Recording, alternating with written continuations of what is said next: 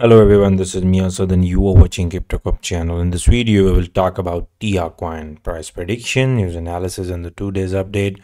Right now, I am sharing the scenario with you that I have shared in the re recent video uh, two days ago that we are heading toward the $13 and we need to break out from the 9.25 level. And already the coin is in a price discovery mode.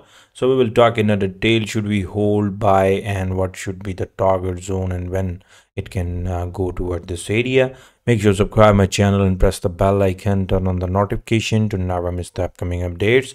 You can join my free telegram channel. You can contact me on a whatsapp. Let's start the video this is a four hour frame guys and right now on a four hour the price is flirting and having a consolidation upside downside from this range 8.2 dollar to the uh, 9.2 we need to have a breakout from this range okay?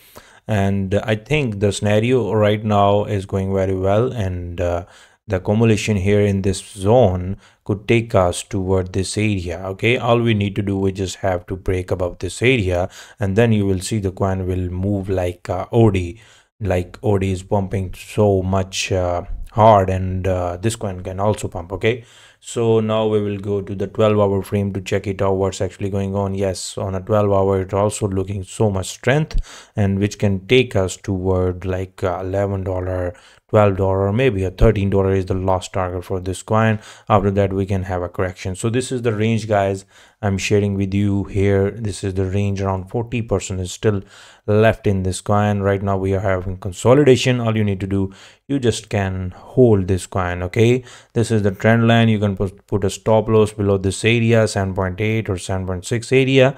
Above this area everything is intact. And uh, hope you guys like my video. Make sure subscribe and always do your own research before buying and selling anything. Thank you and bye bye